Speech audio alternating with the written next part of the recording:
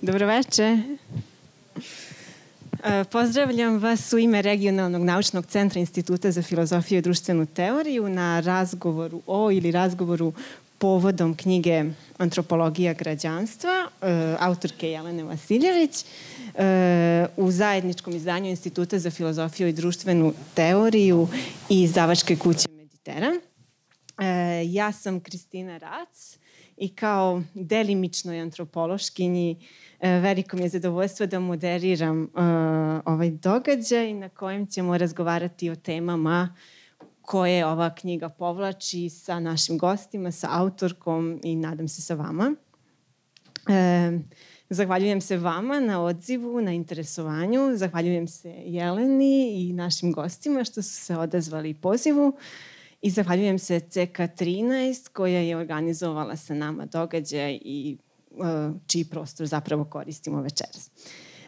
A gosti su nam uh, Jelena Vasiljević, autorka sa Instituta za filozofiju i društvenu teoriju, antropološkinja, Milivoj Bešlin, takođe naš kolega sa Instituta za filozofiju i društvenu teoriju, istoričar, Srđan Radović, takođe antropolog ili ako se ne varam više voliš da se odazivaš na etnolog. Etnolog. Etnolog crtica antropolog sa... Aha, ok. Sa Etnografskog instituta Srpske akademije nauke i umetnosti i Aleksej Kišjuhas sa Oceka za sociologiju Filozofskog fakulteta Univerziteta u Novom Sadu. Kao što vidite, dolazimo iz vrlo različitih disciplina i tako ćemo se na taj način i ovom temom večeras baviti, svako iz nekog svog ugla i fokusirajući se na neki možda drugi aspekt e, same knjige. E, osli smo, osmislili smo ovaj događaj, to je strukturu ovog događaja tako da na samom početku ukratko predstavim knjigu e, i autorku, postavim joj neka pitanja na koja ćemo se nadam se kasnije vratiti tokom debate i onda panelisti iz opet svog ugla, svoje neke discipline e, imaju neko izlaganje i postave neka pitanja e, u vezi knjige. Tako će se Milivoj Bešlin fokusirati na deo istoriji koncepta građanstva, e, Aleksej Kišjuhas na sociološko gledište, e, uglavnom na vezu između građanstva i kulture, e, i Srđan Radović na neku etnološku perspektivu življenog građanstva, pogotovo u Srbiji i u regionu, to jest u drugim bivšim jugoslovenskim republikama. I nakon toga ćemo otvoriti diskusiju i nadamo se da ćete se uključiti u nju.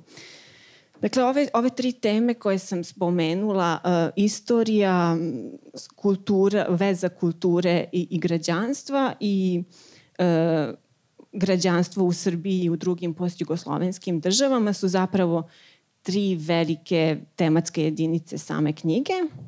E, dakle, posle uvodnog dela e, građanstvo kao antropološki istraživački problem koji, koji se bavi definicijom, e, definicijom građanstva u antropologiji, pogotovo kroz kulturu i politiku. E, prvi veći deo je građanstvo u istoriji i teoriji I tu se obrađuje kako je kroz vekove nastalo moderno građanstvo, kakvim ga znamo danas i koje su glavne teorijske pretpostavke na kojima se ono osniva. I ja bi ovde čisto vođena svojim nekim ličnim interesovanjima i bez ambicije da budem sveobuhvatna izdvojila samo dva postulata, um, a to su prvenstveno da se građanstvo zasniva na isključivanju, to jest da, da bi mogli da kažemo koje unutar neke zajednice moramo odrediti koje izvanje i drugo da u moderno doba kada govorimo o građanstvu ono se najčešće vezuje za pojem nacije. Dakle, nakon, nakon tog dela e, sledi, sledi deo o vezi između građanstva, kulture, identiteta, politike, prava. E, to je zapravo najduži deo i, i i on obra, opet, opet iz neke svoje lične perspektive ovde bi uh, izdvojila deo koji se bavi o tome, uh, bavi se, bavi, koji se bavi time kako se politička i kulturna zajednica međusobno konstituišu i opet kad kažemo kulturna često mislimo zapravo na nacionalnu um, i, i drugo kako, kako, se, kako se građanstvo konstituiše u multietničkim zajednicama. I četvrti, već, poslednji veći deo knjige daje sinhronu perspektivu postojećoj diahronoj i ono se bavi takozvanim življenim građanstvom u Srbiji i u drugim postjugoslovenskim republikama. Dakle, pored odlično prezentovane literature o temi i istorijskog pregleda, ovim poglavljem knjiga dobija i etnografsku perspektivu. Dakle, pitanja građanstva i kulture, inače Jelena obrađivala već na projektu, se izgovara CICI ili SICI? SICI e, na univerzitetu u Edinburgu, uh, koji je bio projekat koji se bavio uh, europeizacijom državljanstva na bivšim, u bivšim jugoslovenskim republikama i takođe u svojoj doktorskoj disertaciji na oceku za etnologiju i antropologiju uh, univer, E, etnologiju crtica antropologiju uh, Filozofskog fakulteta Univerziteta u Beogradu, e, tako da zaista ima bogato iskustvo i širok pogled na, na samu temu i, i, i povezane teme. Dakle, sada bih postavila uh, neka pitanja Jeleni i nadam se da ćemo se posle na njih vratiti kada, kada, kada budemo diskutovali dalje. Dakle, moje prvo pitanje se odnosi zapravo baš na SICI projekat i na, i na, na tvoju disertaciju. I to je zapravo jedno onako zvučaće naivno pitanje. Šta te je navelo da se posvetiš baš, baš konceptu građanstva, pogotovo što, i ovo je sad neka moja ta naivna, naivna lična perspektiva, na prvi pogled on izgleda onako dosta uzak po meni. E, na šta ovde zapravo mislim? E, kada kažemo građanstvo u svakodnevnom govoru, e, često građanstvo poisvećujemo ili sa državljanstvom ili sa građanstvom u smislu gradskog življa. Dakle, ko, koje su, koje su te koje su ta teorijska, empirijska promatranja kroz koje možemo odmaći od, od, od ove uske perspektive i vezano za to sa kakvim si se teškoćama konceptualnim susretala kad si radila sa ovim pojmom. Moje drugo pitanje je možda još više vezano zapravo za, za SICI projekat. Dakle, imajući u vidu komparativnu perspektivu tog, tog projekta i rad tvojih koleginica i kolega koji su se bavili e, drž, e, građanstvom u drugim bivšim jugoslovenskim republikama. E, da li bi rekla da ima nečeg specifičnog u ovu, na ovim našim prostorima što se tiče državljanstva i zašto je zanimljivo istraživati građanstvo baš u ovom regionu? I treće pitanje, kao što neki možda znaju, uh, u okviru Instituta za filozofiju i društvenu teoriju, svo troje i Milivo i Jelena i ja, smo članovi grupe za studije angažovanosti koja se bavi istraživanjem društvenog i političkog angažmana te bi me zanimalo da li bi mogla da kažeš kako bi povezala pojmove angažovanost i građanstvo i da li bi mogla da kažeš da postoji nešto poput angažovanog građanstva i ako da šta bi to bilo?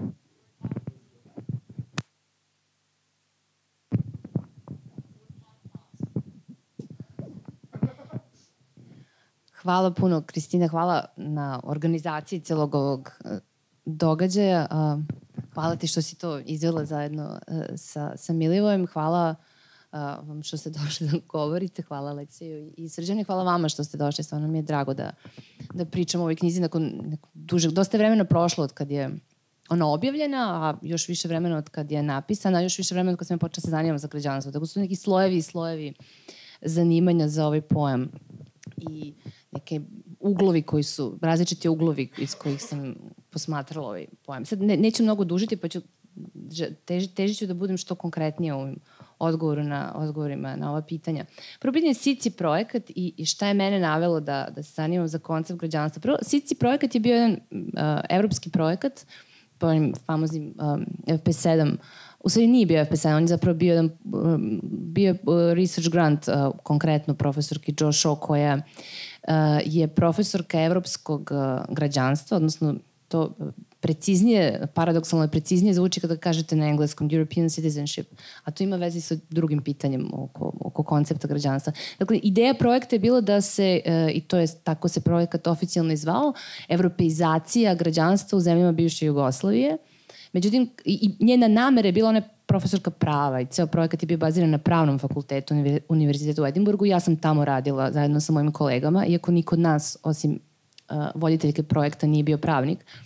Dakle, ideja je bila da se ispita kako sam taj tehnički proces evropeizacije, kako on menja legislaturu konkretnih zemalja, kako se menja, dakle, vrlo jedan tehnički pogled od ozgo na dole, kako se menjaju zakoni, kako države reaguju na te promene, kako se uvode uh, te, kako se samim tim procesom približavaju usvajanja evropskog akija i nekih drugih odredba, kakve to efekte ima uh, i na samu zajednicu uh, građana, ali kakve efekte ima na zakone, do kakvih dinamika dolazi između uh, zakonodavaca, vlasti, građana i tako dalje. To je bila osnovna zamisao, ali ona je brzo napuštena, zato što se shvatilo da uh, proučavanje građanstva i državljanstva u zemljama bivše Jugoslavije zapravo nudi nešto mnogo, mnogo više za istraživanje i to je bila jedna perspektiva koju smo mi otvorili a, profesorki Joshua, kad kaže mi, mislim na nas istraživače koji nismo bili pravnici. U stvari je taj SICI projekat bio jedan zanimljiv sudar uh, pravničkog pogleda na državljanstvo i citizenship.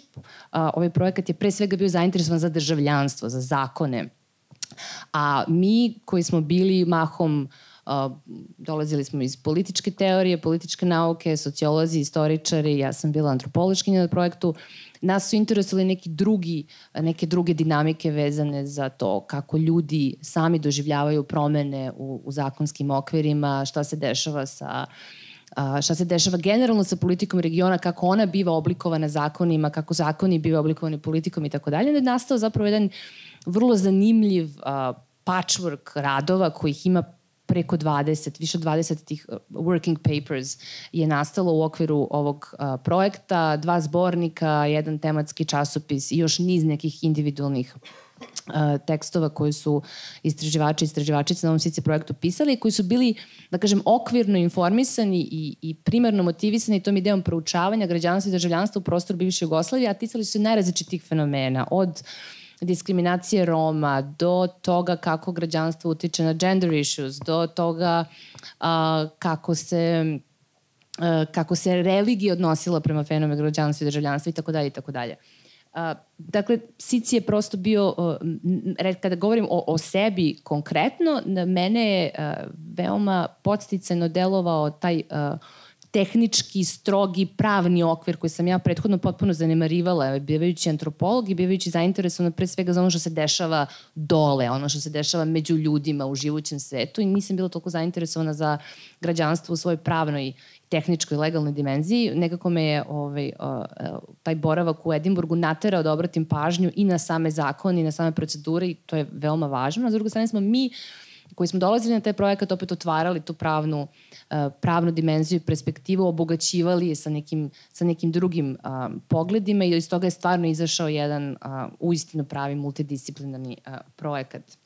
Ono što je mene zanimalo za ovu temu je ja se, kako se sada dobro sećam tih početaka, kad sam razmišljala o tome šta hoću da radim za doktorat, sve je počelo od toga da su me zanimale neke uh, kontraindikovanosti multikulturalnih politika i, i problemi multikulturalizma, pa smo onda u vezi sa tim interesovali neke problemi inherentni uh, konceptu ljudskih prava i onda sam u razgovoru sa mentorom došla do pojma građanstva, zapravo ne do pojma građanstva, nego pojma citizenship. A to je, to je taj problem uh, uh, u vezi sa uh, uh, koncept, sa nedoumicama koje vam neki koncept donosi. Ali sve vreme razmišljajući o tom problemu, literaturu koju sam čitala bila je na engleskom i razmišljajući o citizenshipu ništa nije bilo problematično. Ali citizenship je citizenship, on je tu jedan širok koncept kojim kada ga upotrebite, može, on može da se odnosi na zakone, može da se odnosi na, baš na legislaturu, može da se odnosi na uh, Uh, političko ponašanje građana, može da se odnosi na civic education u školi, može da se odnosi na što god hoćete.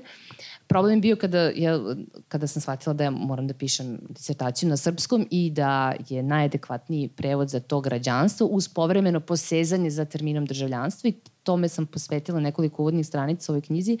Zapravo najveći problem je bio taj problem prevođenja konstantnog i toga što je građanstvo um, čini mi se jedini, ali svakako nedostatan prevod koncepta citizenship. I što on povlači neku, neke istorijske, neke taloge istorijskih i političkih tumačenja u našoj sredini koji nisu specifični za anglosaksonsku upotrebu pojma citizenship. I što vi stalno morate da vodite računa i o jednom i o drugom, pogotovo što sam se u svojoj knjizi bavila i nekim teorijsko-konceptualnim problemima citizenshipa koji su opterećeni, dakle, nekom istorijom koja je uglavnom uh, zapadna istorija razvoja građanstva, a bavila sam se i problemima građanstva i državanstva ovde, gde su onda neki potpuno drugi, drugi problemi uh, i talozi u igri. Onda ta stalno, to stalno prevođenje i prelazak sa toga šta je građanstvo, šta je državljanstvo, kada govorimo o građanskim pravima, kada govorimo o građanskoj zajednici, kada govorimo o državi, kada govorimo o kulturnim pravima, je prosto zahtevalo neku vrstu opreza i stalnog preispitivanja koje ponekad umara, a čini mi se da uh,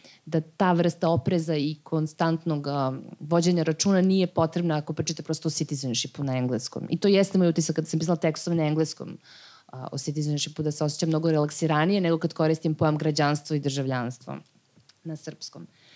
Što se tiče drugog uh, pitanja o komparativnim perspektivama i šta je specifičnost građanstva na, na ovim prostorima, to je zapravo bilo zanimljivo da toliko je puno uh, uh, istorija napisano, istorije ili, ili nekih eksplanatornih uh, okvira o, um, o raspadu jugoslovenske zajednice, o stvaranju novih zajednica, o objašnjenju etničkih sukoba, o tvrdnji da zapravo nije reč o etničkim sukobima.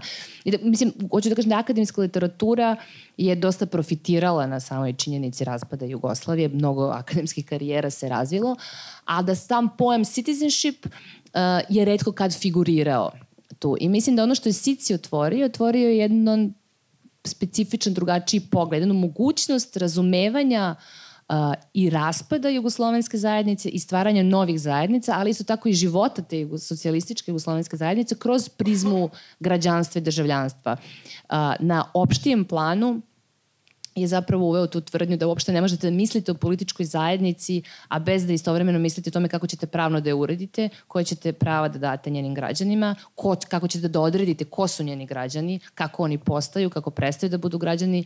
Dakle, to su sve neke tehničke stvari koje nužno, nužno zahtevaju da mislite i o, i o pojmu građanstva i državljanstva. I mislim da je tu uh, stvarno taj prostor uh, uh, Jugoslavije bio uh, evo da potpuno neprimereno citiram svog muža, ali bio jedna laboratorija građanstva i državljanstva, kako Igor Štiks naveo u, u svojoj knjizi, u nekim svojim tekstovima. Daista je bila laboratorija, eksperimentisanje sa različitim zakonima, jer Jugoslavije, socijalistička Jugoslavija zaista jeste bila jedna laboratorija gde se eksperimentisalo sa paralelnim istovremenim postojanjem republičkih e, državljanstava i, e, i federalnog državljanstva, nešto što će kasnije zaživeti u Europskoj uniji na jedan prilično sličan način. Uh, gde svaki građanin je imao istovremeno i republičko a, i, a, i federalno državljanstvo, a da nikada nije bilo ni među samim pravnicima potpuno jasno koje državljanstvo ima primat u odnosu na ta dva. Pitanje koje je bilo gotovo nevažno i irelevantno tokom trajanja Jugoslavije postavit će se kao ključno pitanje nakon raspada Jugoslavije, jer je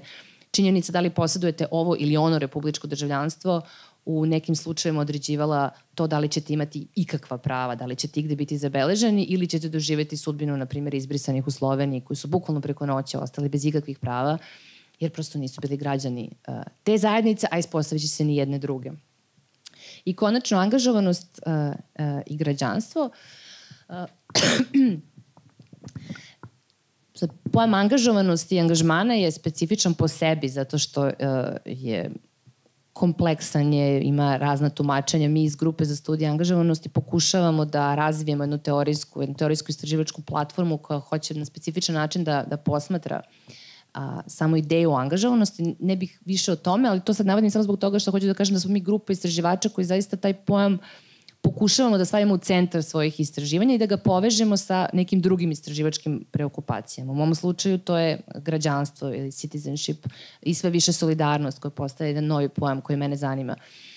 Uh, kod angažovanosti i građanstva specifično ono što je Kristina rekla na samom početku, da je rekla da je jedan, njen glavni zaključak iz prvog dela da je građanstvo koncept koji isključuje, što je istina, ali on je zapravo paradoksalno uh, pojam koji se istorijski razvijao kao emancipacijski pojam uključenja u zajednicu. Dakle, ideja građanstva i građanskih prava se i razvijala i postojala zato da bi što veći broj ljudi ušao u političku zajednicu, stvari određena građanska prava. I ja i dalje tvrdim da on ima veliki emancipatorski potencijal. Sve vreme paralelno sa sobom noseći tu uh, isključujuću uh, dimenziju i uh, kako jedna slovenačka autorka teoretička građanstva rekla da je građanstvo, državljanstvo, na, na slovenačkom ne postoji pojam državljanstvo je jedini prevod pojama citizenship, da je to uh, pojam koji uvodi legalnu diskriminaciju. Dakle, on ostovremeno i on vam određuje, državljanstvo određuje ko nema nikakva prava na tlu uh, u kome se trenutno nalazi, na, na teritoriju koji se nalazi i to je potpuno legalno. Dakle, vi legalno diskriminišete ljude taj diskriminatorski aspekt građanstva postaje sve izraženi danas sa izbjegličkom krizom, kada vi ukoliko nemate nikakve papire, a, nemate nikakva prava ili pak vrsta papira koju posjedujete određuje vrstu prava koju ćete da uživate. Pa čak i to pravo da se smatrate izbjeglicom. Ako ste iz Sirije, Afganistana i Iraka, imate pravo da budete smatrani izbjeglicom, imate pravo da tražite azil. Ako ste iz Sudana, nemate pravo da tražite tražite azil. Dakle, neka arbitrarnost mesta u kojem ste rođeni, neki papir koji vam kaže državljani ste ove ili one zajednice, vam to, i ta, o, tako gledano se čini da je to jedan vrlo o, jedna retrogradna o, ideja koja je prepreka opštoj emancipaciji, ali s druge strane ne možete da, ne, ne možete da zanemarite i da u potpunosti izbacite uh, iz, iz narativa jedan istorijski razvoj ideje građanstva uh, i toga da, da su zapravo nijedan, uh, nijedan aspekt uh, socijalne emancipacije nije mogao da se ostvari, a da nije bio pravno kodifikovan kao građansko pravo. Pa, na primjer, u socijalističkoj Jugoslaviji kao pravo na stanovanje, pravo na rad, pravo na abortus, pravo, vi ste morali da imate određena zagarantovana građanska prava da bi uh, ideje postale, uh, da bi one društveno uh, zaživele. Evo, tu ću stati sada da ne uzmem previše.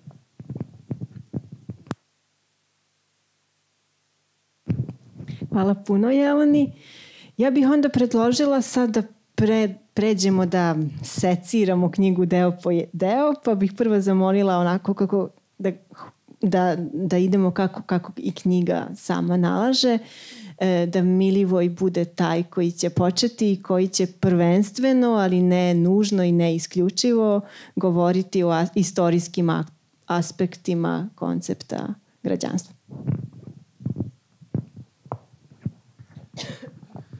Dobro, evo kada mi je Kristina predložila da govorim o ovoj knjizi, onda je rekla da ima jedan istorijski deo koji nije veliki da se ja baziram na to, jer sam rekao prosto nisam kompetentan za ovu temu da govorim o tome.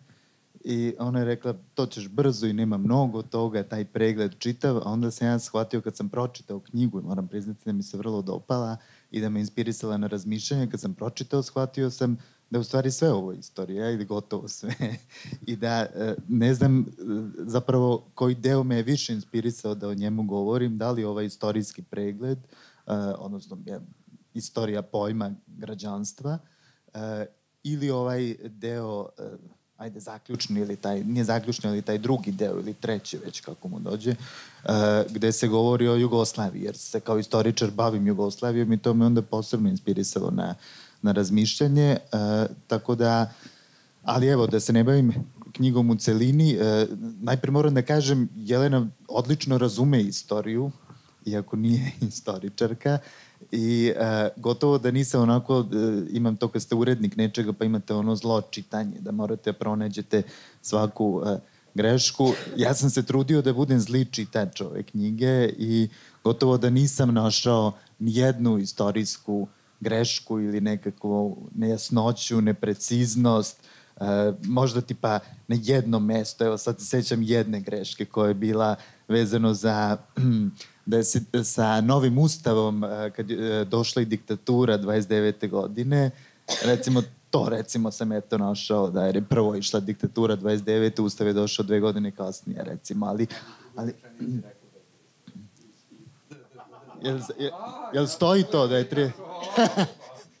Ove. E, jeste, da, da, točno. Tako da, dakle, Jelena je dobar, dobra istoričarka. Ove, uh, evo ja ću sad samo ovako prateći knjigu da dam kratak pregled ovog pojma istorije građanstva. Naravno da svi mi krećemo uvek od grčkih polisa, Jelene odatle odatle krenula i ona uvodi pojam koji mislim da je vrlo dobar u tom kategorijalnom aparatu, to je to participativno e, političko društvo e, i zaista grčki polisi jesu to bili. Nominalno mi uvek posebno na nižim nivoima obrazovanja, kažemo da svi građani učestvuju u donošenju zakona, u političkom odlučivanju i tako dalje. I to kad ste klinac, to vam deluje da je zaista tako i da je to nekakva uh, harmonija. Naravno, to je moguće samo u malim zajednicama, gde je to kao celokupno stanovništvo uh, odlučuje.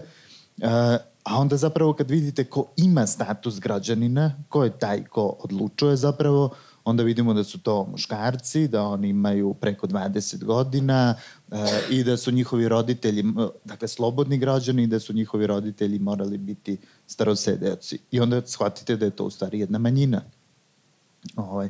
E, Jelena takođe ovde uvodi na, e, pojam, e, odnosno citira Aristotela, kada kaže da je građanin onaj koji može i hoće da se pokorava. Dakle, oni učestvuju, ali, kako da kažem, prihvataju pravila igre zapravo svemu tome.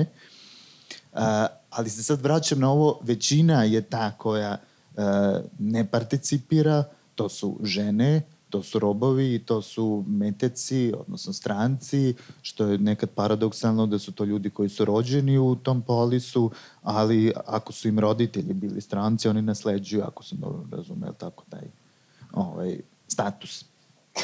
Ovaj, I to nije zapravo e, čitava podela, jer su se punopravni građani razlikovali i po uh, imovinskom uh, statusu. Istovremeno, žene su te koje je, su u kući, one brinu o kućnim poslovima, to ono i kos, uh, dok se muškarci bave javnim poslom, dakle oni su mogli sebi da priušte da budu, da budu građani.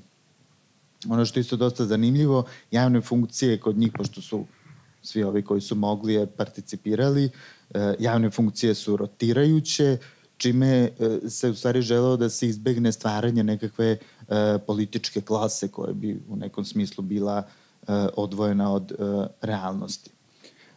Naravno, sve je to moglo da funkcioniše uz gomilu problema u malim zajednicama, ali sam pojem građanstva, Jelena to vrlo dobro analizira, se menja već sa rimskim periodom, pre svega evropske istorije i tu dolazi do ozbiljnih promena.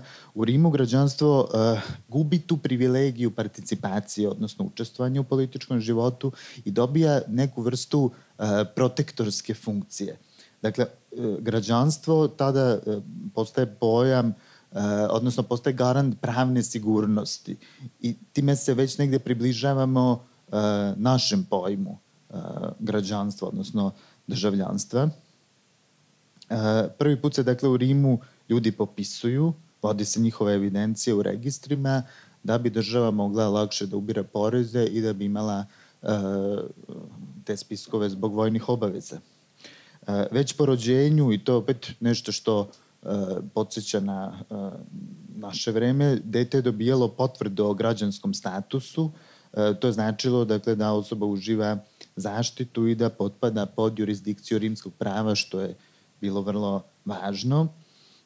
I u ovom slučaju rimski građani ne mogao biti samo muškarac, on je imao pravo da stupa u brak sa ženama iz građanskih porodica, da trguje sa drugim građanima, da plaća manji porez, dakle neka vrsta privilegije, da uživa poreske olakšice, dakle, i da mu se sudi pred rimskim uh, sudovima.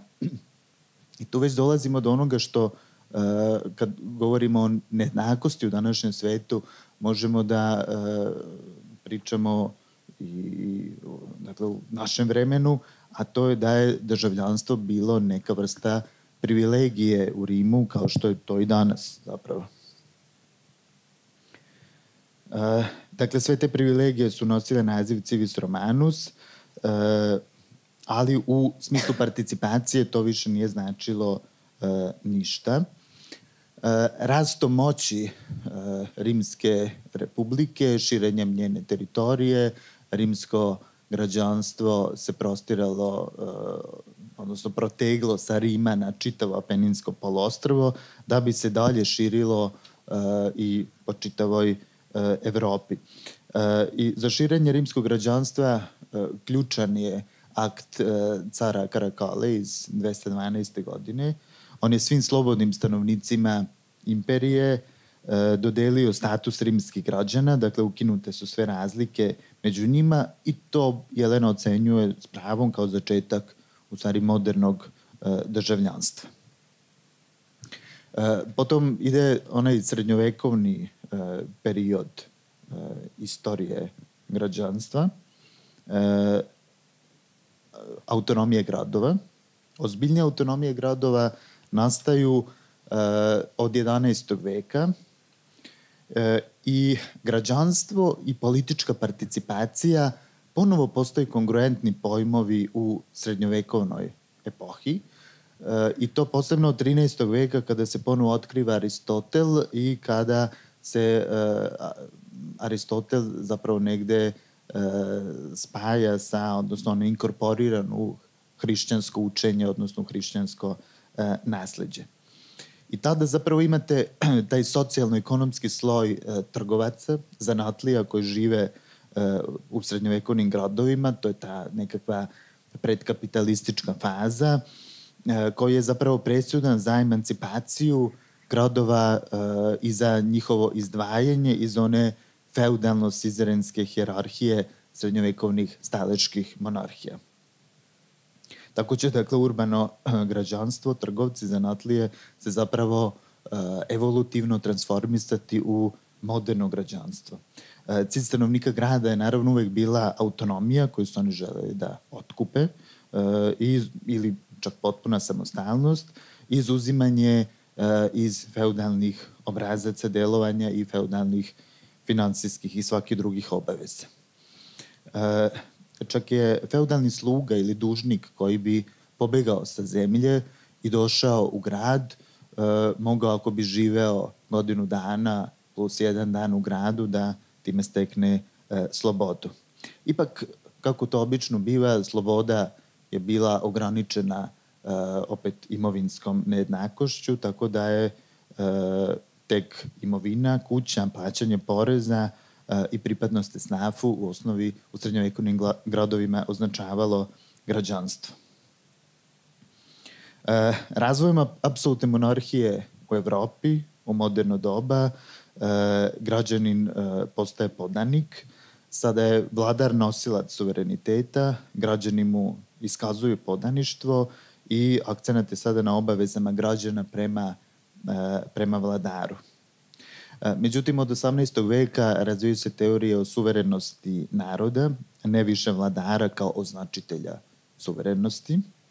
Dakle, kako ide već sa francuskom revolucijom i pre toga sa teorijskim uh, osnovama koje uh, su dali francuski filozofi, samo narod ima pravo da bira oblik vladavine i legitimitet sa Boga i vladara prelazi na suvereni narod koji stupa na istorijsku scenu 1789.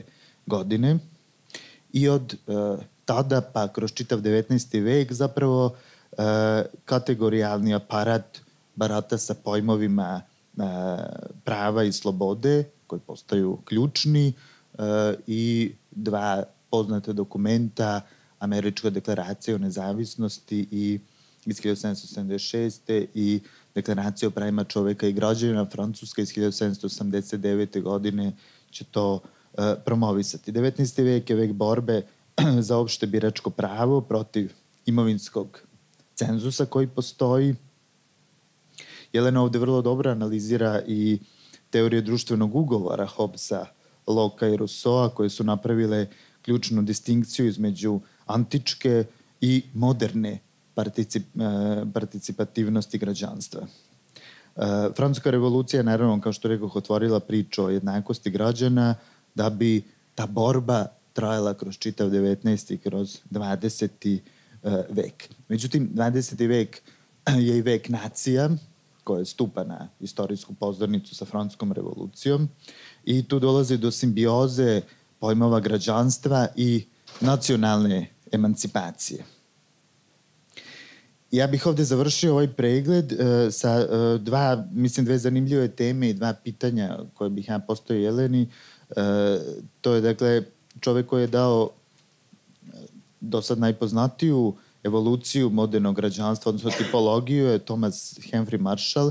Dakle, samo nešto nam kaže malo o njemu i drugo pitanje bi se ticalo e, problematike identiteta i građanstva.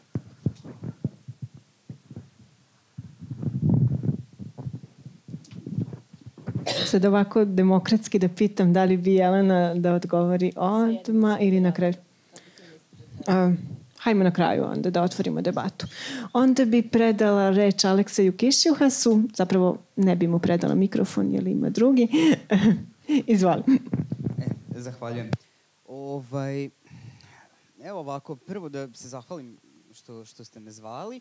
E, zaista je čast i zadovoljstvo biti ovde e, među vama i govoriti o, o, o ovoj knjizi. Ja moram na samom početku da istaknem da je ovo zaista jedna od najboljih domaćih studija koje sam ja pročitao u poslednje, u poslednje vreme. Objasnit ću i zašto, zašto to mislim. Iako ne mogu da se pohvalim da, ovaj, da intenzivno čitam studije domaćih, domaćih autora, ali sam silom ovih prilika ovaj, bio E, bio pozvan da to uradim, da to uradim danas. E, ali uh, uprkos tom uh, izbegavanju ili jednoj vrsti cerebralne uh, higijene impresionirao me način na koji ovaj, koleginica, koleginica govori o građanstvu. Naime, studija je uh, i preporučujem je, preporučujem je svima, izuzetno oprezna, izuzetno kompleksna, uh, ona ne predstavlja, iako je to bio moj prvi ovaj, utisak, ona ne predstavlja neku vrstu učbenika iz discipline koja postoji, koja se rađa, koja se može jel,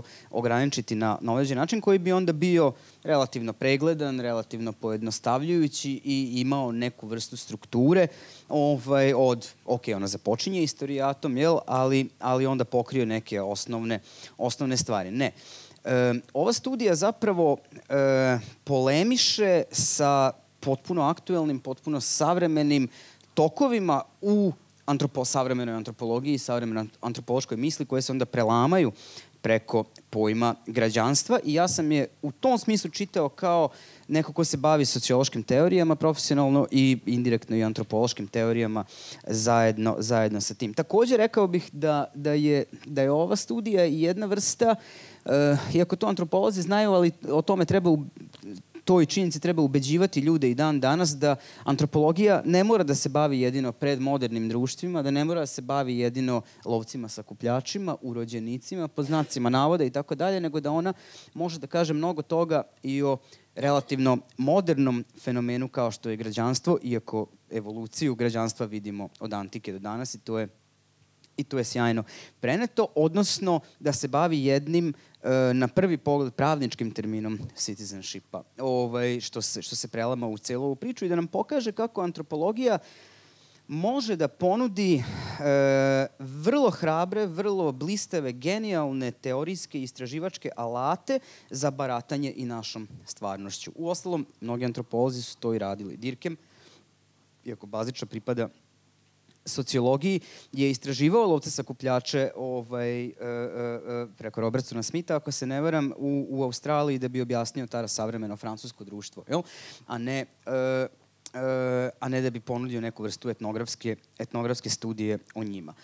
Uh, kada govorimo o delu koji je meni jel, ovaj, uh, namenjen, u, to mislim u najboljem mogućem smislu, o kulturi koji predstavlja i centralni deo studije kako je autorka to e, isticala i obrazlagala zašto je to tako, opet bih ponovio da je u pitanju jedna vrlo, vrlo oprezna i vrlo kompleksna analiza e, pre svega teorijskih razmatranja u najboljem mogućem smislu te reči ili značenju te reči, teorijskih razmatranja o tome šta građanstvo danas jeste u e, šta ti me hoću da kažem? Kroz ovu vrstu, ili kako sam ja čitao taj deo, ovaj, kroz ovu vrstu priče o tome šta građanstvo jeste u savremenoj, mislim, autorka kreće u analizu građanstva, ja mislim da je to sjajno i zbog toga ovu studiju smatram izuzetno vrednom.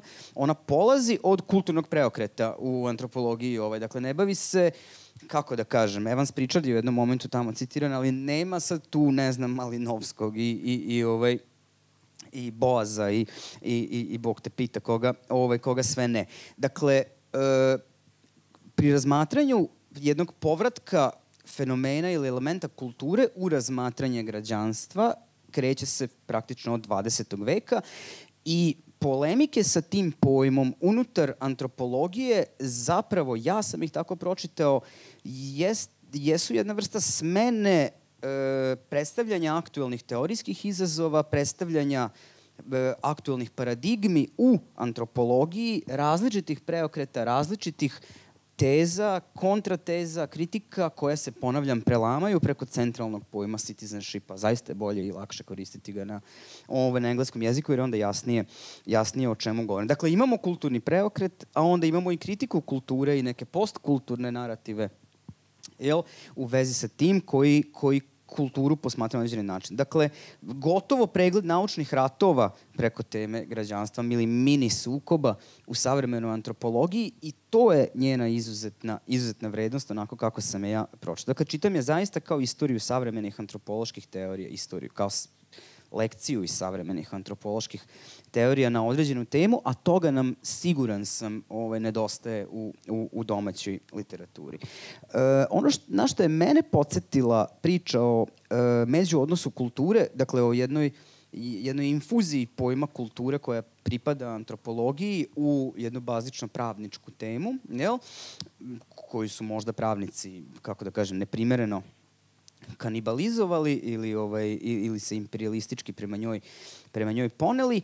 E, dakle, ono što je mene inspirisalo bio je fenomen kulturne sociologije koju je zakuvao savremeni američki sociolog Jeffrey Alexander, koji je e, bez namere da puno predajem, ali je, ali je sam stalno pomišljao na upravo, na upravo nju, koji je pokušao da promeni poput sad, da negdje im slabog i jakog programa u sociologiji nauke i znanja, koji je zapravo pokušao sa, sa kulturnom sociologijom da smeni paradigmu sociologije kulture i paradigmu sociologije nečega. Dakle, sociologija koja polazi od društva i onda preko društva objašnjava sociologija grada, sociologija porodice, sociologija sela, sociologija ovoga, onoga, tople vode, pa samim tim i sociologije kulture, koja će društvenim strukturama da objašnjava kulturu. E pa njegov program kulturne sociologije bio je pokušaj da se preko kulture, da se jel, izvrne ovaj, e, Hegel na glavačke, da se putem kulturne, putem kulture objašnjavaju svi ostali aspekti naše društvenosti života, a samim tim onda u to možemo inkorporirati i građanstvo. Dakle, kulture u najširem smislu, opet bez reifikacije, bez ovaj, esencijalizma u tumačenju kulture, nego kao pokušaj da se kultura vidi kao skup značenja koji ljudi zapravo jel, uh, imaju o svetu i da se onda ne može govoriti, dakle, ta kulturna sociologija bi faktički imala jedan kolonijalni ovaj, odnos prema svim ostalim sociologijama koja bi koja bi putem, putem kulture, uh, odnosno analize značenja, analizirala i sve ostalo što tradicionalno pripada domenu sociologije, pojma nema, politika, grad, ovaj, ovo, uh, ovo ono.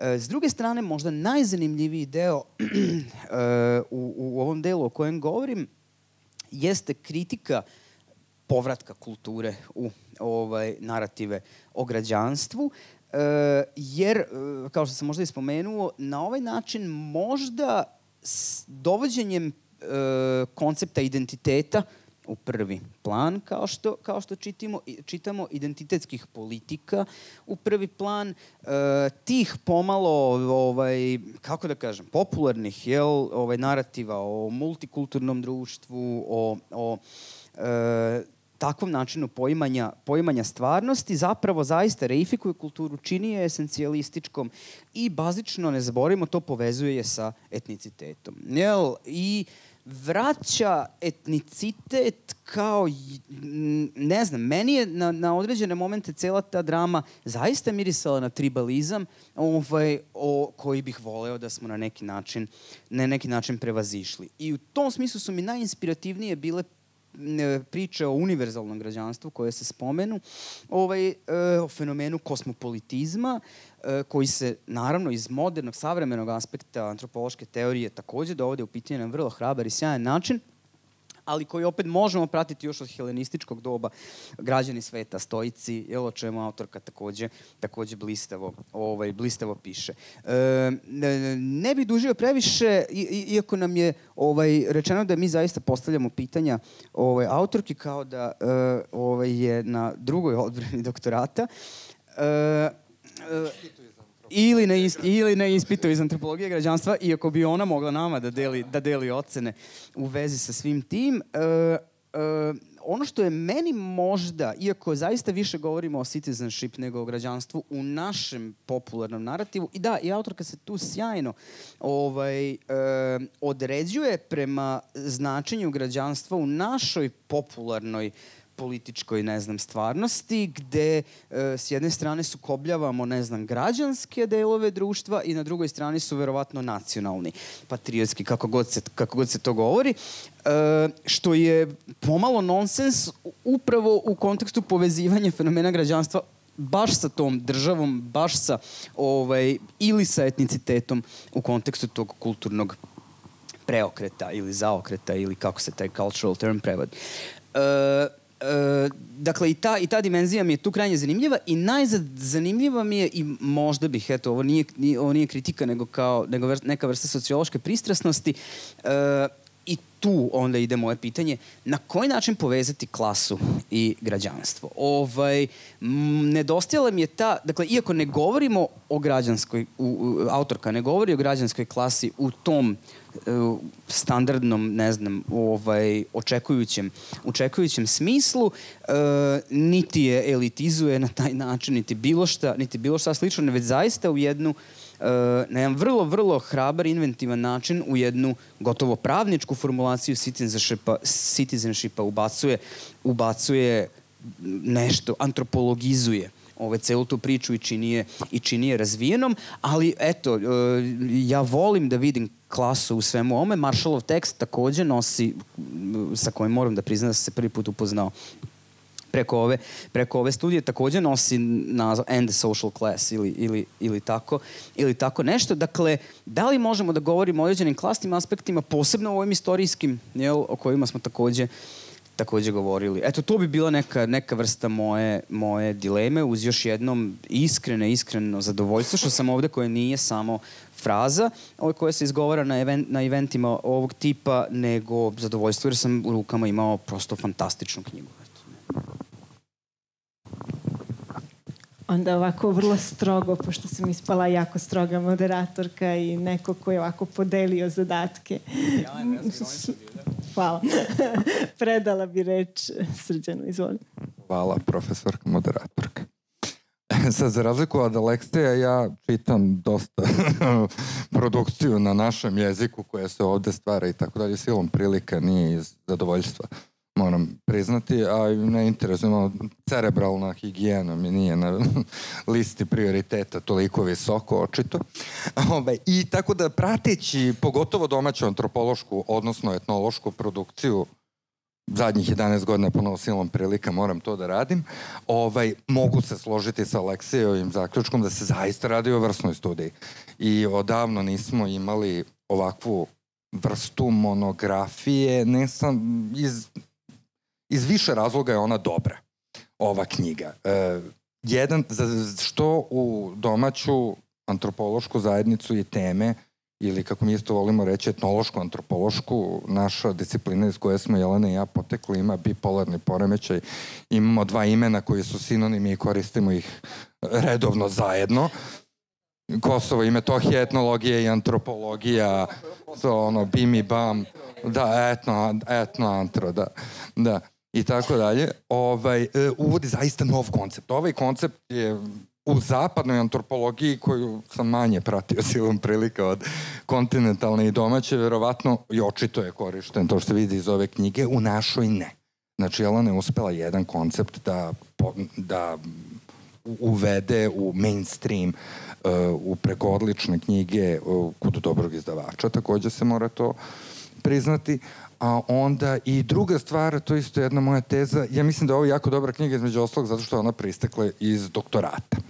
Znači, e, to imamo sad, ovde ima i studenta, verovatno različitih stepena i tako dalje, da mi do skora, barem u etnologiji, verujem da i u nekim drugim društvenim humanističkim disciplinama sličan slučaj, da e, po najbolje studije proizlaze iz doktorskih istraživanja i to često u kombinacijama gde imamo e, mentore koji daju e, relativnu slobodu svojim, koji ne ograničavaju ni tematski, ni metodološki previše svoje kandidate, a pod uslovom da je i taj kandidat inteligentan i talentovan. E, tu smo sreće imali sa, sa Jelenom između ostalo, pošto znam ovaj, kolege koji su imali i slobodu da pišu što hoće, nisu bili inteligentni ili talentovani ili ni jedno ni drugo. I dosta je papira ovaj, protraćeno na objavljivanje takvih studija. Tako da ovo, i ovo je zaista jedna od boljih knjiga. U poslednje dve, tri godine je jedna od najboljih antropoloških e, monografija koje su izašle. Ja se bavim nekim uredničkim poslovima, pa nažalost pratim.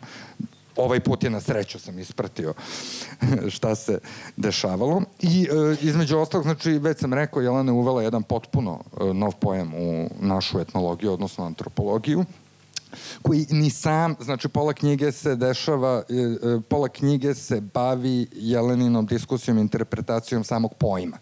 Znači pojam je komplikovan per se i vrlo je hrabro, a ja bih na osnovu mog skromnog mišljenja rekao i uspješno, uh, uvela taj pojam i uh, komentarisala ga i diskutovala u uh, svojoj knjizi, pritom ga je uvela u jednu disciplinu, znači etnologija, antropologija e, i kulturna antropologija je e, konfuznije od samog pojma građanstva. To je nauka koja i dalje ne može ni da objasni studentima da li se bavi kulturom, ili se bavi narodom, ili se bavi identitetima i onda kada u takvu paradigmatsku zbrku uvedete ovako nešto, a to ispadne u redu, svaka čast. Mislim, ja se ne bih time bavio nikada. e, tako da. E, sad ja sam imao, uh, ovaj, meni je najzanimljivije bilo zaista ovo, ovo poslednji veći deo uh, pred zaključak, koji se bavio uh, post-jugoslovenskim građanstvom i režimima državljanstva. Pred kraj knjige, znači, vraća se i pojmu državljanstva. Jelena u jednom trenutku sa vrlo dobrim razlogom, već, već ste shvatili da već na našem jeziku mi citizen žip ne možemo da do kraja tačno prevedemo, a da svima čak ni u akademskom krugu bude do kraja jasno o čemu se tu tačno radi.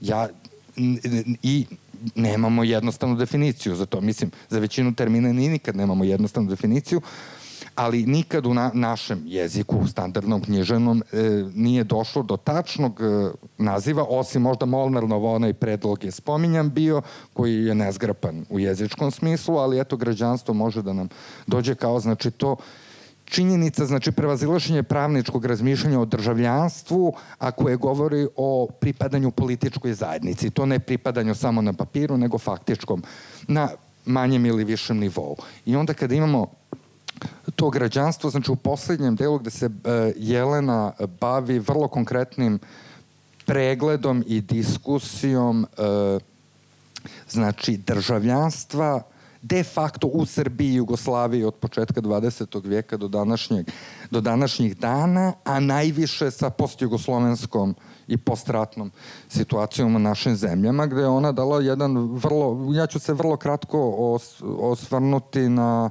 jugoslovenski period, znači do 91. godine, znači Kraljevina Jugoslavija, ovaj, Eh, etnicitet je već spominjan, znači sve je eh, razmišljeno u bazički ipak modernist, mislim mi govorimo o modernističkom konceptu nacionalnosti, etniciteta, troplemenog, jedinstvenog naroda i tako dalje. I onda socijalistička Jugoslavija uvodi sad jednu odjednu komplikovanu, složenu uh, pojam, iako nikad nije verbalizovan, e, pojam i smisao građanstva sa dvostrukim državljanstvom, znači istovremenosti državljani jedne savezne zemlje i konstitutivne republike koja je istovremeno nacionalna država, iako je u klasičnom pojmu zapravo Jugoslavija nacionalna država, kao neko ko ima i međunarodni subjektivitet i, i prepoznatljivost van svojih granica. Uh, potpuno i tako dalje, a onda istovremeno i imamo samoupravni sistem koji je istovremeno, ako ja ne grešim previše,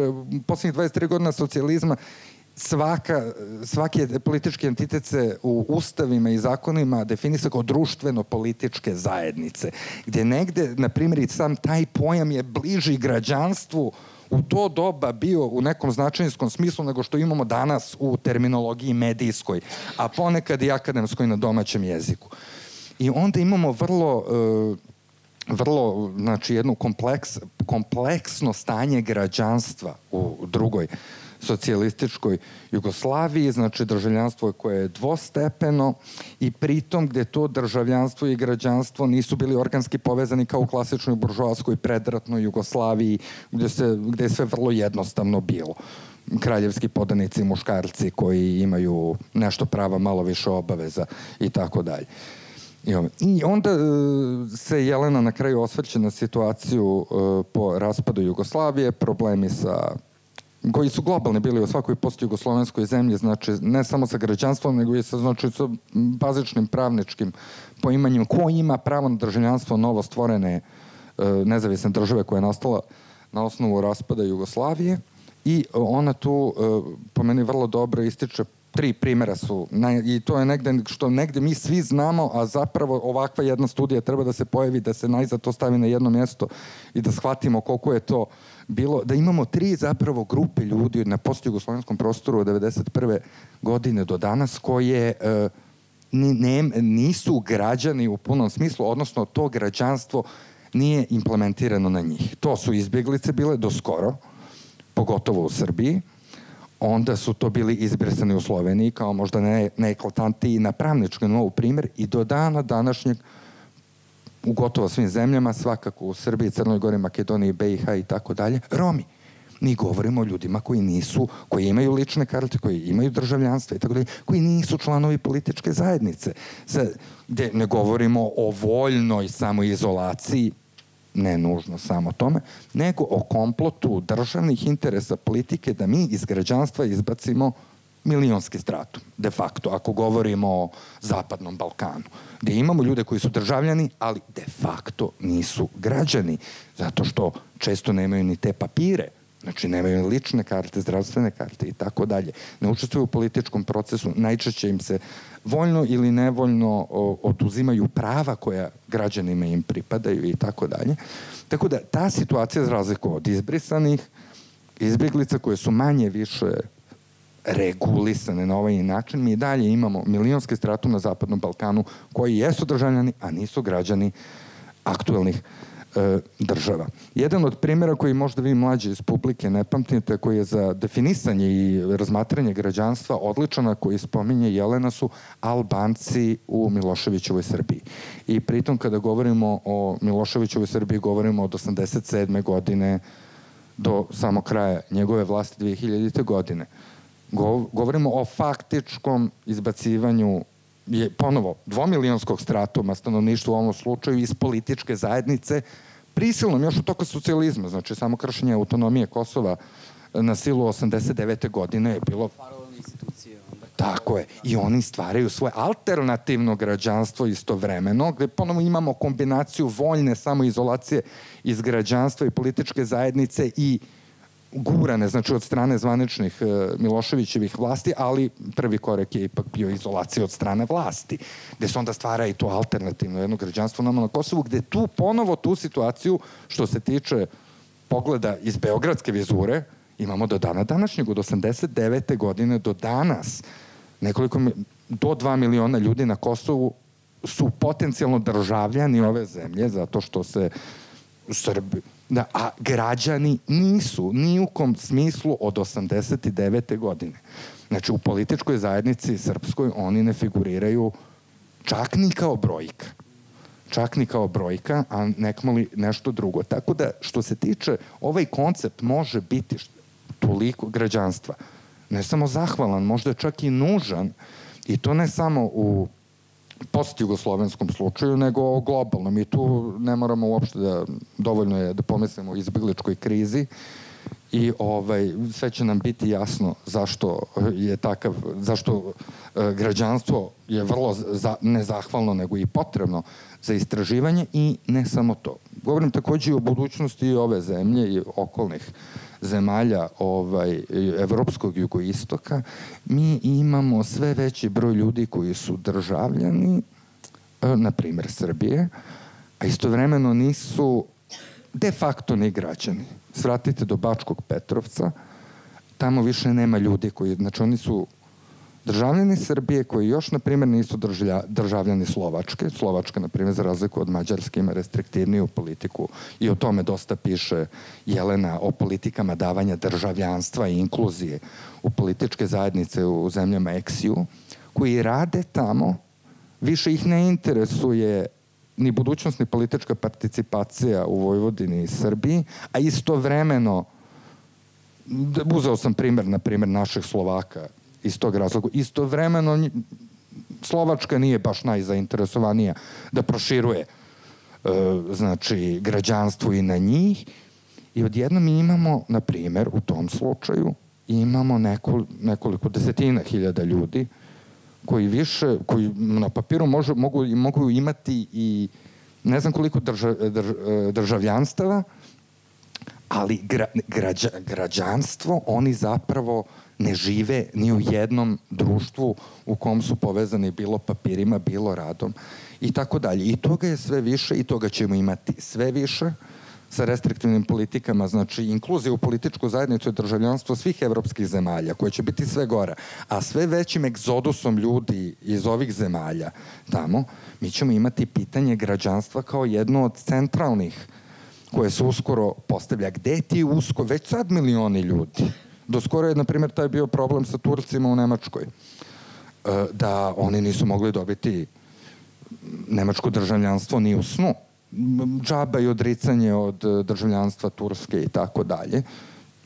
I ti ne ostvaruješ se kao političko biće nikako kroz čitav život i tako dalje. Uskoro ćemo imati taj slučaj da i, a i veće, su sve veće brojevi, da imamo dosta ljudi koji uh, odlaze iz ove zemlje, koji uh, rade, a ne govorimo više o fenomenu gastarbajterstva da se vraća, više, više se niko ne vraća nazad, uh, koji odlaze tamo, znaju da nikad neće biti punopravni članovi političke zajednice tih zemalja, nikad neće dobiti državljanstvo novih zemalja u koje odlaze, a istovremeno ta matica iz koje su otišli iz ovih ili onih razloga uh, u građanskom i političkom smislu za njih više ne predstavlja ništa, pošto njihov angažman ili povremeni dolasti ovde na njihovu egzistenciju, njihov život, mislim, ne utiču više nikako ni na koji način. Tako da će e, sve veće stratume stanovništva imamo koji su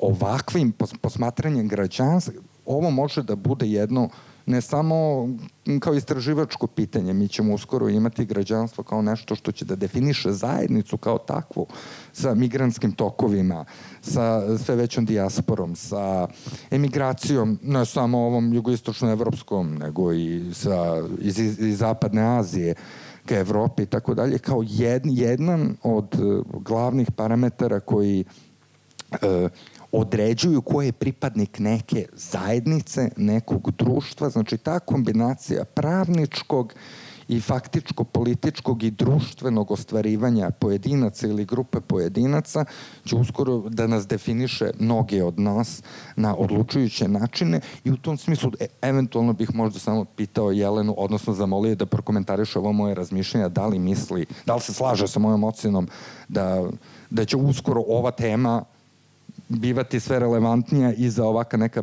ovakva neka bazična ovaj, istraživanja života, življenog iskustva, znači političke zajednice mnogih ljudi, pogotovo s ovog našeg prostora. Eto.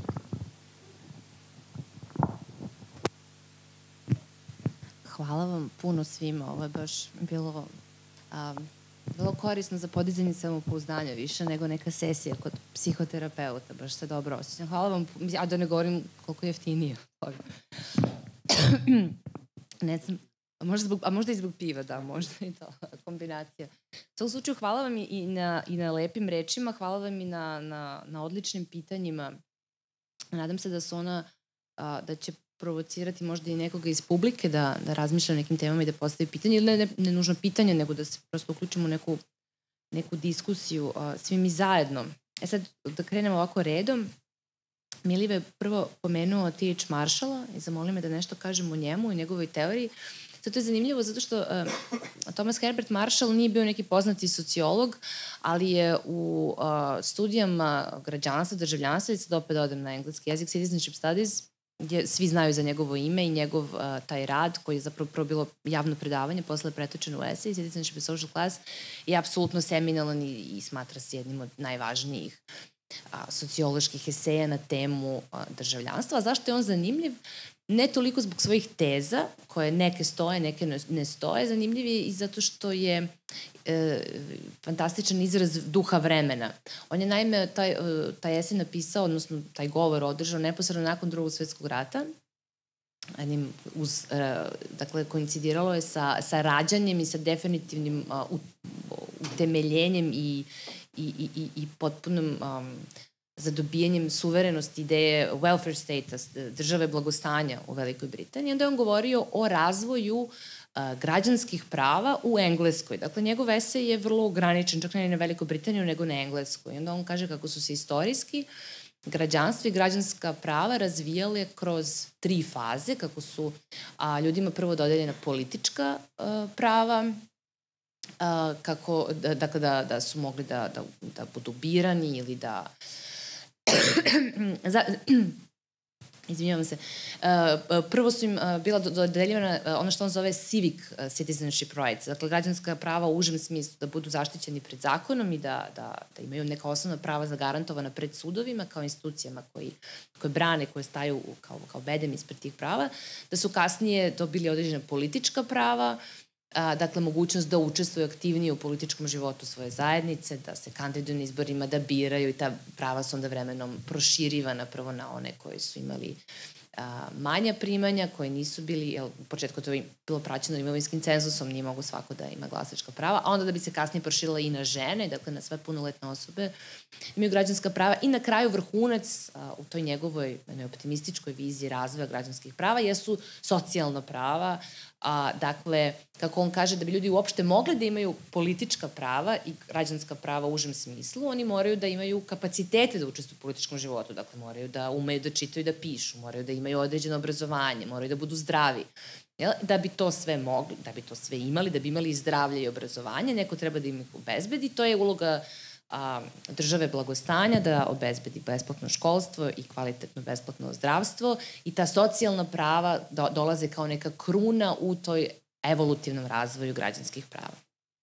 Sad taj, taj esej je, kažem, bio zanimljiv zato što prvi put stavlja ideju građanstva u jednu istorijsku perspektivu, iako ograničenu, kažem, samo na englesku, ali je bio, bio je zanimljiv teoretičarima, mnogi su ga kritikovali iz uh, jedne sa aspekta nemogućnosti univerzalizacije te priče, ste vi imali primere zemalja gde ste imali vrlo ef efikasna socijalna prava, ali niste imali politička prava, kao u mnogim komunističkim zemljama, gde ste imali besplatno uh, školstvo i besplatno uh, zdravstvo, ali niste imali pravo glasa, odnosno niste imali izbore u nekom demokratskom smislu reči, liberalne demokratije. Ali zašto još njegov esej bio zanimljiv? Zato što je kasnije sa nekim onim kulturnim zaokretom 60. i 70. kritičari ovakve institucionalne uh, institucionalne perspektive gledanja razvoja građanstva kritikuju e, to potpuno zanemarivanje kulturne dimenzije i onih faktora koji e, isključuju ljude i uprkos njihovoj formalnoj neisključenosti. Ovo otvara jednu otvara jednu ogromnu problematiku koju ja pišem u knjizi, tako da neću sada detaljno dohvatiti, ali poenta je bila kritičara da da, evo mi imamo društvo u kojima su svi formalno pravno građani, svi formalno pravno imaju ista prava, mogu da glasuju, mogu da učestvuju u političkom životu, imaju prava na školovanje i zdravstvo, ali opet su neki diskriminisani. Zbog toga što pripade određenoj religijskoj zajednici, zbog toga što govore nekim manjinskim jezikom, zbog toga, dakle, to, zbog toga što imaju neki kulturni marker koji ih obeležava. I to je bio opet duh jednog drugog vremena, drug, duh vremena koje uvodi kulturu i etnicitet ponovo na velika vrata. I pogotovo u Americi od 60. godina i sa civilnim pravima i pravima za borbu uh, za borbu protiv apartheida i za veće uključenja, uključenja afroameričkog stanovništva u, u društvo je prosto bio, postojala je potreba da se skrene pažnja na neke druge kulturne mehanizme isključivanja koji ostaju nevidljivi za ovaj pravno regulativni mehanizam koji kao formalno daje svima, svima prava. Zato je T.H. Marshall u stvari bio značajan za, za studije građanstva, za citizenship studies, je bio značajan kao osnovni poligon sa kojih je polazila kritika. To je bila prva meta na koju je kritika udarala. Jel, građanstvo ne možemo da posmatramo samo kao formalno pravno, moramo da uvažimo kulturno. Jel? A onda kasnije od 90-ih će naići drugi talas kritika koji će pak kritikovati to kulturno. Jel? Tako mogu da kažem da se ja svrstavam u taj talas. Ali to bi ukratko bio značaj uh, Maršalovog uh, eseja i generalno, a i znači za, za kontekst mog rada. Pitanje identitet i građanstvo bojim se da će ostati nadgovoreno, jer to je potpuno, to, ko, kojem odnosu stoje identitet i građanstvo, to je, to je ovaj, ne, jedno pitanje na koje sve vreme pokušao. Da, samo pod pitanje. E, samo dakle, pod pitanje da ga svedemo na Jugoslaviju. Ono što je jugoslovenski citizenship zapravo bio e, i dakle taj državni identitet jugoslovenski, ono što je u Kraljevini pokušano nasilno da se radi unifikacija, da onda u socijalističkoj Jugoslaviji to daje neki rezultat, postoji nek, neki osjećaj državnog identiteta, nekakva integrativnost e, koja je kompatibilna sa e, partikularnim nacionalnim identitetima e, i to zapravo do pred sam raspad Jugoslavije daje određeni rezultat. Da, da u, to, u tom smislu to Jako zanimljivo pitanje i mislim da se često pogrešno tumači u, u laičkom interpretaciji istorije prve, druge, a, treće Jugoslavije, ako u Jugoslaviji govorimo kao treće ideje. A u, u Kraljevini Jugoslavije, dakle, postojalo uh, je, ne, ne samo da je nametan jedan identitet, jel, troplemen, troplemenski narod, jugoslo, jugoslovenski identitet je nam, nametan kao jedini, kao neki koji će sada da, da, da poništi, da, pre, da na, da stvori naciju Jugoslovena, a potpuno pogrešno se to pripisuje projektu druge Jugoslavije, često u laičkim interpretacijama. Vrlo često ćete čuti kako je socijalistička Jugoslavija nametala jugoslovenski identitet, što je potpuno netačno, jer je zapravo cijela, ceo projekat socijalističke Jugoslavije, pa to se vidi na legislaturnom planu, na, na planu uh, državljanstva republičkih, je upravo bila ideja da se napusti ta unitarna ideja kraljevine Jugoslavije i upravo da se dozvoli uh, a, narodima da se na neki način emancipuju i da, da republike imaju svoje konstitutivne narode. Upravo je to bilo jako važno i često se simbolički potvrđivalo. Sećam se jedne, možda je a, trivial ili nebitan primer, ali, a možda i ilustrativan, jedna rasprava na Facebooku da neki baš istoričari se čude nad time kako je u a, venčani list Josipa Broza i Jovanke je pisao, on se potpisao kao Hrvat, a ona kao Srpkinja. I svi su bili zaprepašćeni, jer su valjda mislili da je, da, da je postao neki kao pritisak, da bi oni trebalo da daju primer uh, u nekom ideološkom smislu kako su oni Jugosloveni. Što je potpuno suprotno projektu socijalističke Jugoslavije, koji je naprotiv afirmirao zapravo izjednašnja, izja, čak i, i, i izjašnjavanje na cenzusima po tom takozvanom nacionalnom ključu. Da je upravo bilo važno da nek, ili ideja je bila kako sada izbeći zamke u koje je upadala kraljevine Jugoslavije. I sad taj, to pitanje identiteta uh, jugoslovenskog i, i, i na, kako to pomeriti, mislim, to je stvaralo razne stalno uh, probleme i konfuzije, a pogotovo sa, sa aspekta sad formalnog, uh, jel, šta se koje smo mi papire imali, ljudi često nisu ni znali da imaju određeno republičko državljanstvo, zato što recimo praksa do 70. neke je bila uh, da se gotovo po automatizmu svako novorođeno dete koje je rođeno u Jugoslaviji upisivalo mu se državljanstvo prema republičkom državljanstvu oca njegovog. Prema tome vi ste mogli da budete rođeni u Beogradu, vaš otac je bio iz Hrvatske, vi ste automatski bili upisivani u Hrvatsko, kao u knjigu državljana kao Hrvate, jer to niste ni znali. Tek je od 70-ih promenjena praksa gde su upisali državljanstvo po mestu rođenja, a u nekom među periodu su čak roditelji pitani uh, za, uh, je baš jedna od ispitanica uh, čiji, čiji narativ ja opisujem na kraju svoje knjige imala tu situaciju da je rođena u Beogradu, otac je iz Hrvatske i njeni roditelji su pitali da li želite da se vaše dete upiše kao državljanin Srbije ili Hrvatske, da su oni njeni roditelji pristali da budu, budu upisana kao državljanka Hrvatske, što će na kraju sudbinski odrediti njen život, jer u nekom trenutku je ona ostala bez ikakvih papira i na osnovu tog dokumenta koji su njeni roditelji potpisali 70. neke uspela da dobije hrvatsko državljanstvo a da nikada u Hrvatskoj nije živela, niti ima ikakve veze sa Hrvatskom, osim što je otac rođen u Hrvatskoj. Dakle, to pitanje identiteta je i moglo je da bude i utilitarno, kao u ovim slučajevima kad vam trebaju neki papiri, kad vam treba neka, neka potvrda. I svakako da su postojale razne strategije pregovaranja identiteta i šta su oficijalni, oficijalni identiteti, šta su vaši intimno doživljeni identiteti, kako se oni preklapaju ili ne preklapaju. A, I svakako da je bilo puno politički, ideološki motivisanih narativa, da kažem, produkovanih narativa koji bi govorili da su neki naši identiteti pod opresijom od nametnutih identiteta. Mislim da je i to sad neka nova tema koju bismo... Zato mi je to užasno kompleksno pitanje koje ne mogu kroz jedan odgovor da, da, mu, da mu pristupim, jer je ono uvek bilo, pogotovo od 80-ih i kroz 80. godine, je bilo pod snažnim udarom ideologiziranih i ispolitizovanih narativa oko tome šta su naši identiteti, a šta je naš nametnut jugoslovenski identitet, koji zapravo nikada se nije nametao. Jel? I zapravo izjašnjavanje na cenzusima, ljudi koji su izjašnjavali kao jugosloveni su relativno bili niski. Mislim, postoje neki rast u tome, ali u suštini se ljudi nisu izjašnjavali kao jugosloveni u nekom ogromnom broju na popisima i to nije smatrano anti-jugoslovenskim. Dugo nije bila ni opcija, niti je ikada postojao projekat stvaranja Jugoslovene u tom smislu. Jel postoje, to, je, to je zaista bio pravi civilni projekat Jugoslovenstvo kao neki civilni identitet, a ne kao neki nametnuti et. Ako je, iko, ako je i, i, ikako državna tvoremina htela da nametne Jugoslovenstvo kao etničku ideju, to je bila kraljevina Jugoslavija. Pod zapravo jednom krinkog, možda srpsko dominiranog. Ali to je sad neko drugo pitanje. Još ovo da kažem, u prilog ovoj terapiji o kojoj Jelena govori. Dakle, ovo je savršeno razumevanje zapravo identitetskih politika u Jugoslaviji, koje odgovorno tvrdim više od dve trećine istoričara u regionu, a više od tri četvrtine istoričara u Srbiji apsolutno ne razume. Iz ideoloških. Ne žele.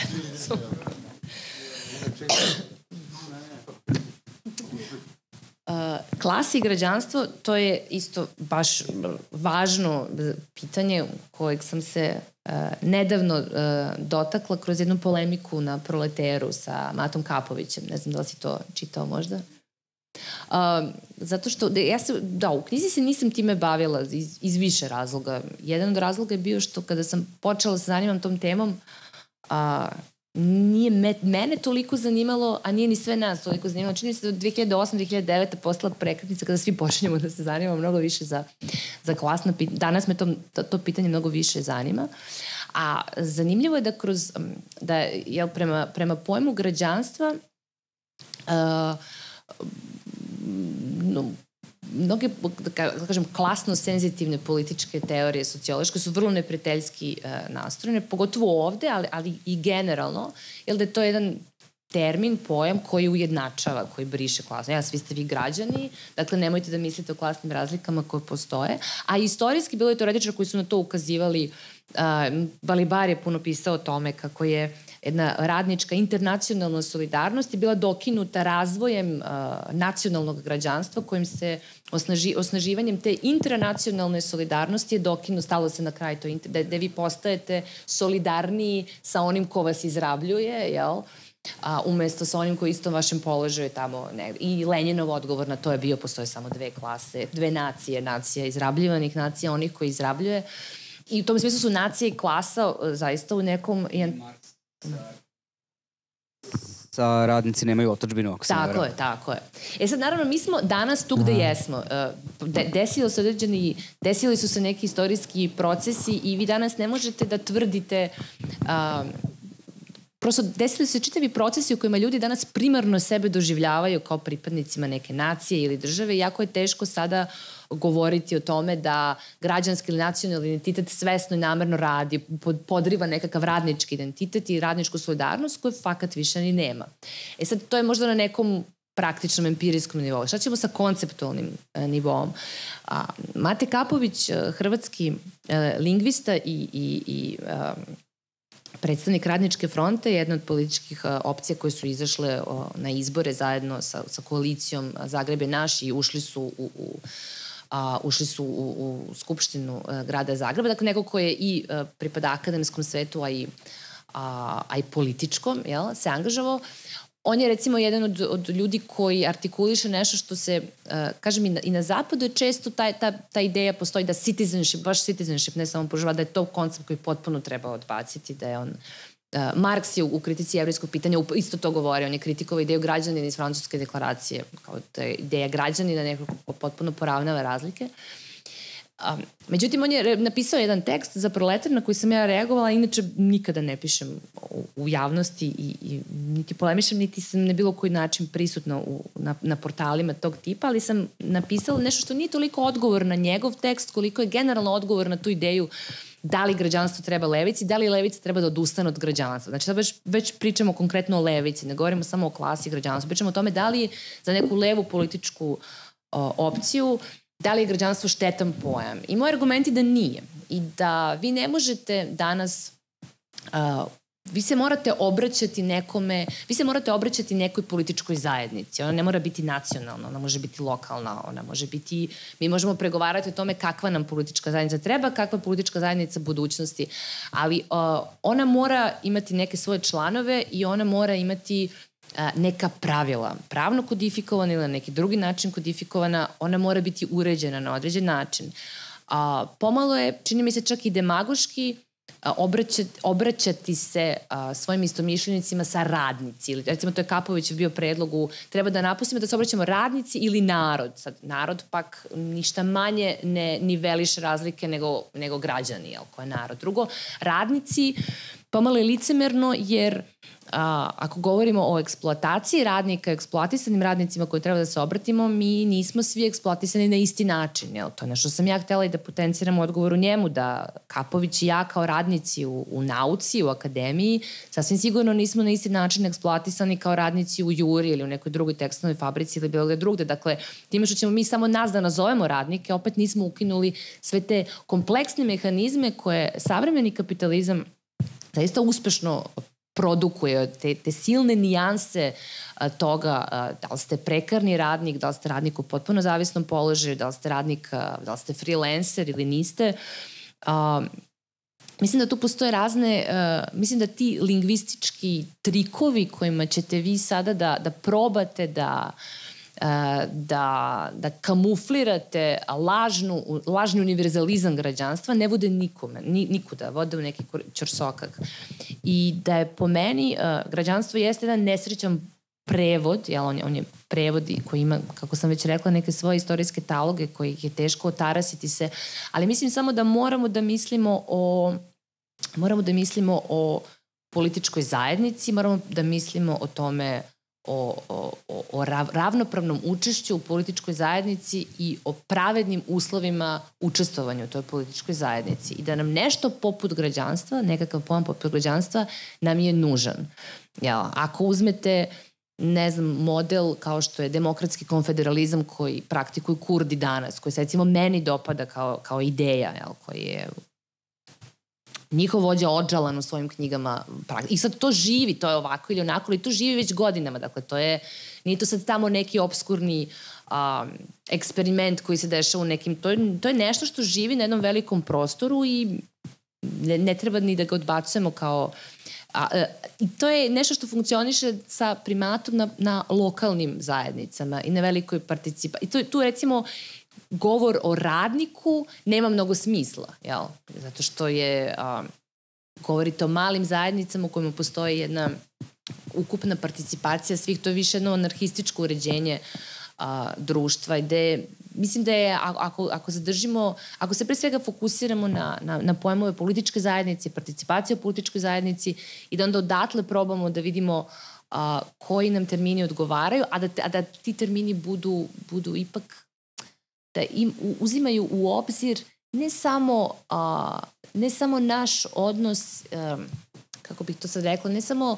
našu poziciju u odnosu na rad i na ekonomsku poziciju, nego generalno na, na, na, na sveukupnost onoga što čini jedan politički život. Ne znam, možda sam previše a, nejasna i a, zato što je pitanje, pitanje je vrlo, vrlo kompleksno. Uh, ali bih uh, samo rekla da, da klasno senzitiviziran pristup nije nužno neprijateljski prema pojmu građanstva. Možda bih to samo rekla.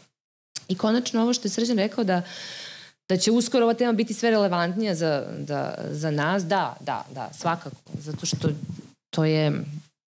Uh, mislim da, da pogotovo sa, sa ovaj, imamo izbegličku krizu, dakle, i to izbegličku krizu mi posmatramo zapravo u jednom njenom marginalnom aspektu, jer najveći broj današnjih izbeglica je u Africi, znači tamo imate mnogo više izbeglica nego, nego ovde. To, mislim, mi sad govorimo o desetinama miliona ljudi koji su uh, displaced, koji su pomereni sa mesta koji živi, žive negde drugde, nemaju nikakav status. Zatim imate nekoliko miliona ljudi koji tako žive godinama, koji tako žive decenijima. Imate izbjegličke kampove koji su veći od Novog Sada, koji su veći od Beograda, koji su čitavi gradovi.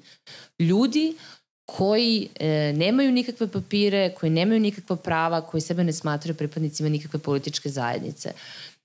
A sva je prilika da ćemo sve više to iskušavati, ne samo zbog ratove koji će izazivati ta pomeranja. Prvo imamo jedan potpuno Uh, vidimo da država kao garant uh, građanskih prava i nacionalnih prava postaje sve manje uh, moćan regulator tih mehanizama. Jel? Da, današnja, recimo, ekonomska naša je radna prava, ako se ponovo vratimo na njih, mnogo više zavise uh, od MMF-a ili od Evropske banke nego od države Srbije. Mnogo više zavisi od uh, poslodavca za koga radite nego od zakona države u kojoj živite.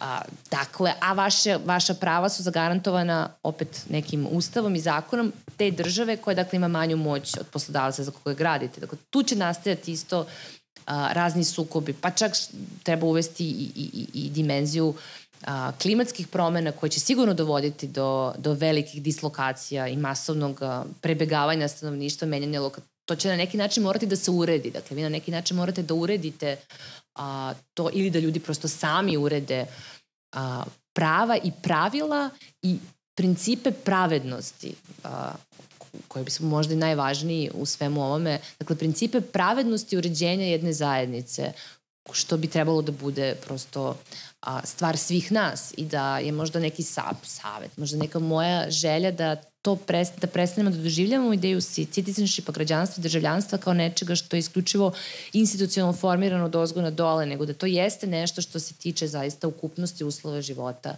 u kojima mi i živimo i delamo i zamišljamo neku svoju budućnost. Hvala Jeleni. Ovo je bila, ovo je zvučalo kao neka odlična završna reč, ali nadam se da, na, na, nadam se da neće to biti.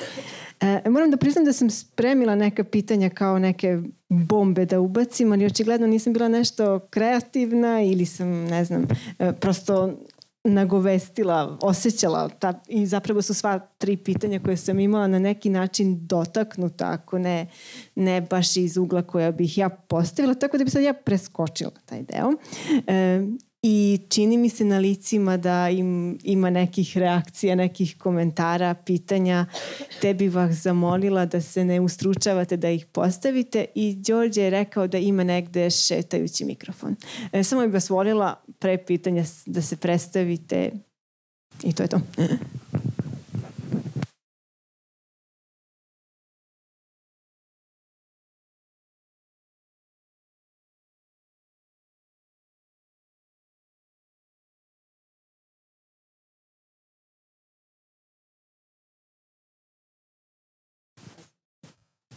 Ako je tako, onda je možda vreme za pivo. E, hvala na pažnji. Hvala. Hvala svima.